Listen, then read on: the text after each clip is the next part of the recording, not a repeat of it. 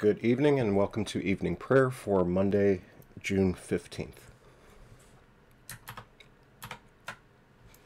In the name of the Father, and of the Son, and of the Holy Spirit. Amen. Let my prayer rise before you as incense. The lifting up of my hands is the evening sacrifice.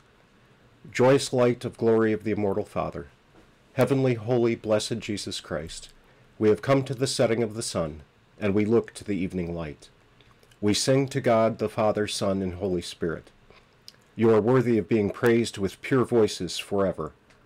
O Son of God, O Giver of life, the universe proclaims your glory. The Lord Almighty grant us a quiet night and peace at the last. Amen. It is good to give thanks to the Lord, to sing praise to your name, O Most High, to herald your love in the morning, your truth at the close of the day. Praise to you, O Christ. O come, let us worship him.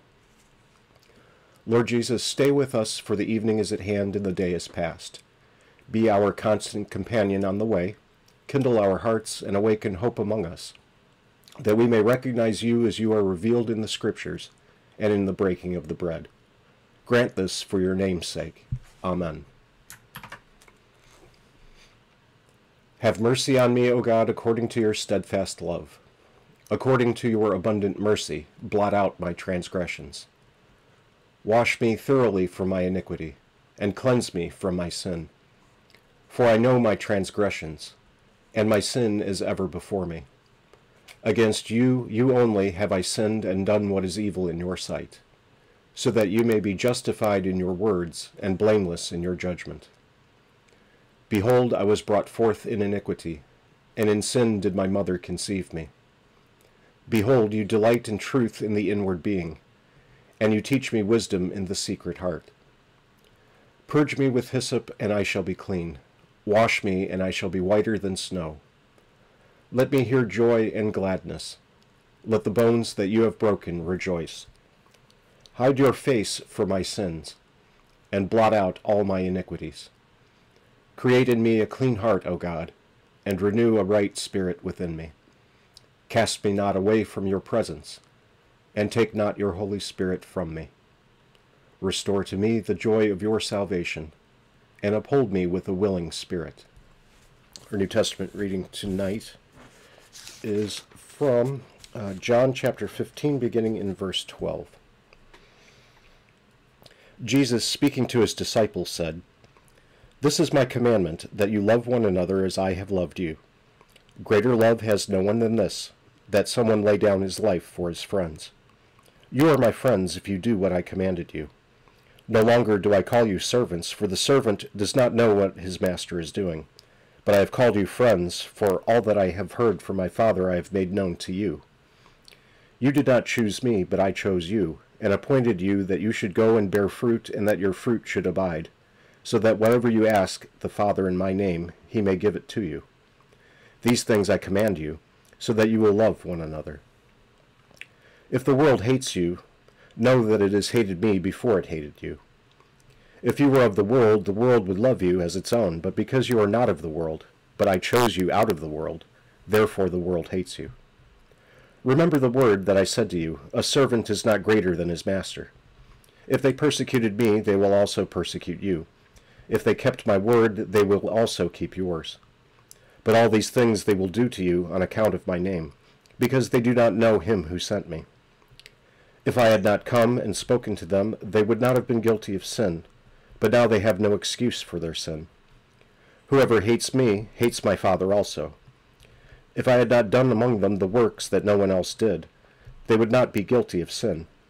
But now they have seen and hated both me and my Father. But the word that is written in their law must be fulfilled. They hated me without a cause. But when the Helper comes, whom I will send to you from the Father, the Spirit of truth, who proceeds from the Father, he will bear witness about me. And you also will bear witness, because you have been with me from the beginning.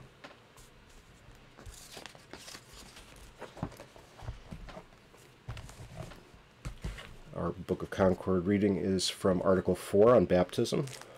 This is the second to last part, and then tomorrow evening we will finish it, beginning in paragraph 41. Therefore, every Christian has enough in baptism to learn and to do all his life.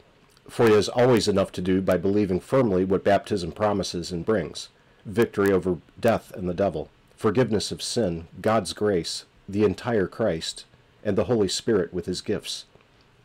In short, baptism is so far beyond us that if timid nature could realize this, it might well doubt whether it could be true. Think about it.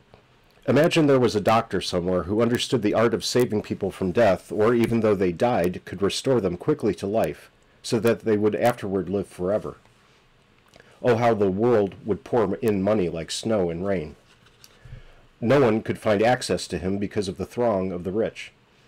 But here in baptism, there is freely brought to everyone's door such a treasure in medicine that it utterly destroys death and preserves all people alive.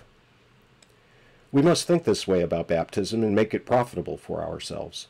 So when our sins and conscience oppress us, we strengthen ourselves and take comfort and say, Nevertheless, I am baptized.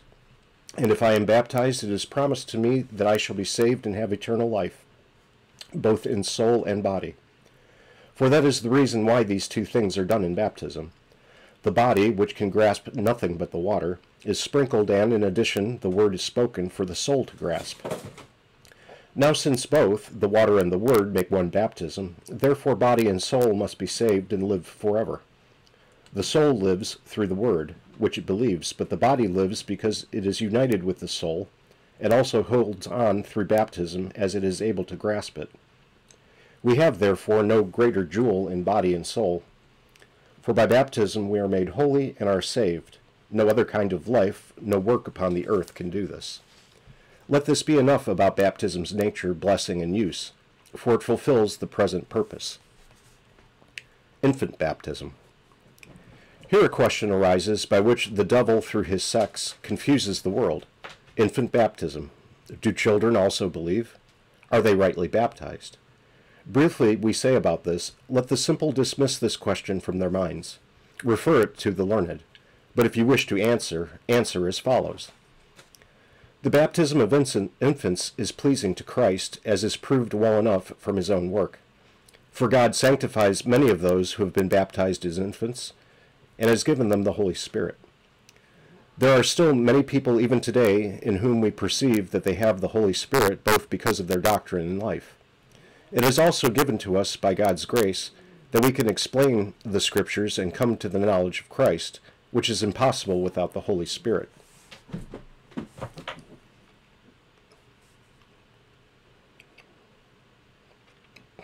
But if God did not accept the baptism of infants, he would not give the Holy Spirit nor any of his gifts to any of them.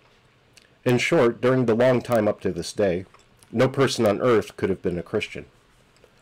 Now, God confirms baptism by the gifts of his Holy Spirit, as is plainly seen in some of the church fathers, like St. Bernard, Gerson, John Huss, and others. These people were baptized in infancy, and since the Holy Christian Church cannot perish until the end of the world, the sects must acknowledge that such infant baptism is pleasing to God for God can never be opposed to himself or support falsehood and wickedness, or for its promotion impart his grace and spirit. This is indeed the best and strongest proof for the simple-minded and the unlearned. For the sects shall not take from us or overthrow this article. I believe in the Holy Christian Church, the communion of saints. Further, we say that we are not very concerned to know whether the person baptized believes or not. For baptism does not become invalid on that account, but everything depends on God's word and command.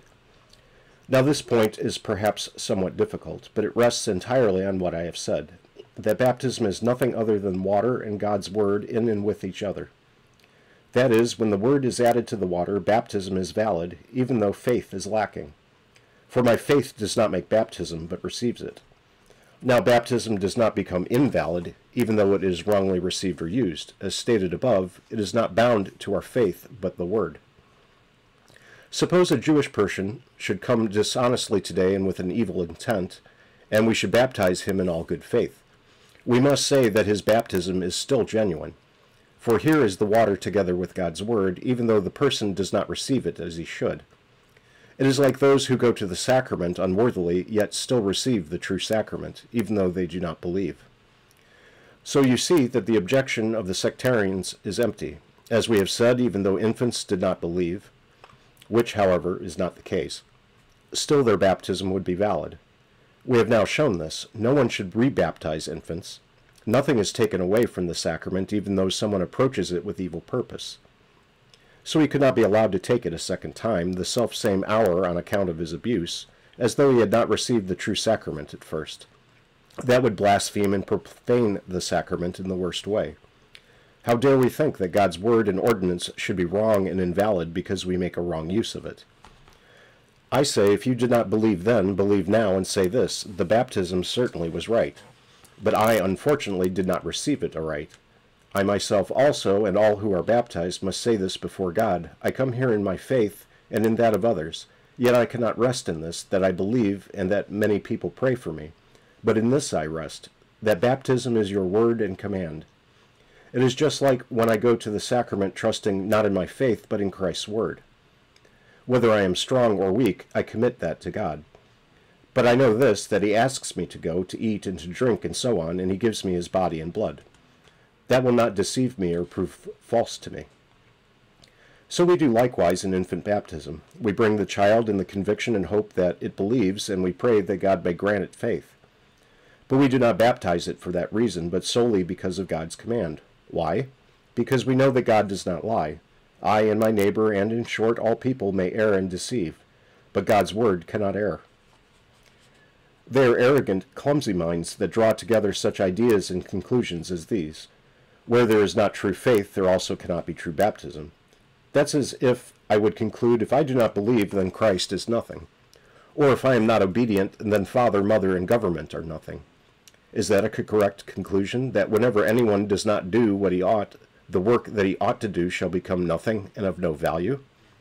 My dear, just invert the argument and rather draw this conclusion. For this very reason, baptism is something and is right, because it has been wrongly received. For if baptism was not right and true in itself, it could not be misused or sinned against. The saying is, abuse does not destroy the essence, but confirms it. For gold is not the less gold, even though a harlot wears it in sin and shame. And with that colorful image, we will conclude for tonight.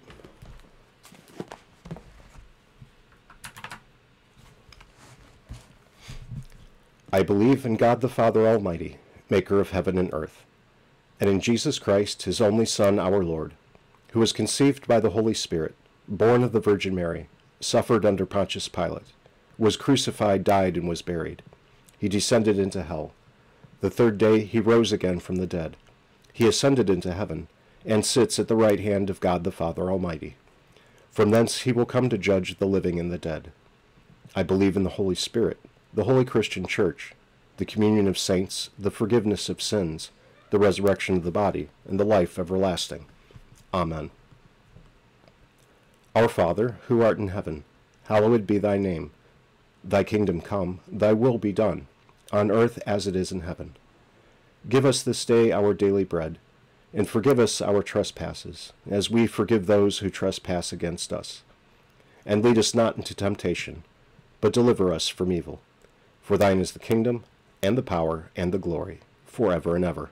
Amen.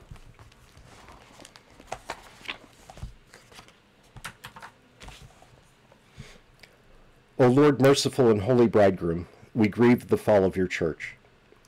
It is our fault that the beauty of your bride is no longer recognized. Therefore, we pray you, give and increase in us faith, love, and hope in you. Root out of us all sins and vice, all strife, all disbelief, all error and heresy. Rebuke the erring, convert the unbelievers, bring the rebellious again to the unity of the Christian church, and show them the light of your truth. Protect our shepherd from all danger of body and soul. Bless all pastors and those who administer in the church and the building of your congregation. Grant them success in all things. Equip your whole church with the proof and power of the holy faith.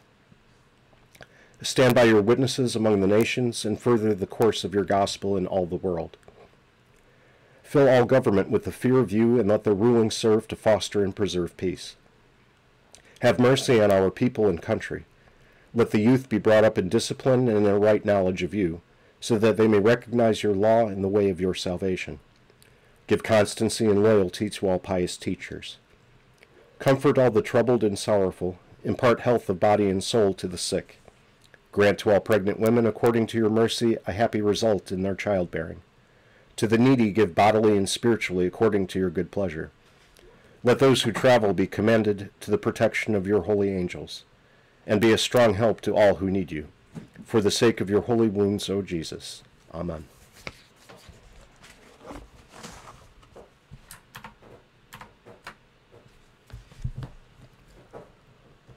O God, the giver of all that is good, by your holy inspiration, grant that we may think those things that are right, and by your merciful guiding accomplish them. Through Jesus Christ, your Son, our Lord, who lives and reigns with you in the Holy Spirit, one God, now and forever. Amen. Almighty and everlasting God, your great mercy in Jesus Christ. Try that again. Almighty and everlasting God, of your great mercy in Jesus Christ, you have granted us forgiveness of sin and all things pertaining to life and godliness.